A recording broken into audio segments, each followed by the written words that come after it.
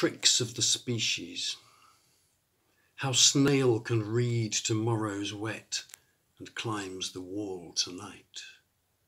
How grass snake glides through nettle stems with never a shiver of leaf. How a year old wren has the pattern to knit a nest that's picture book fit.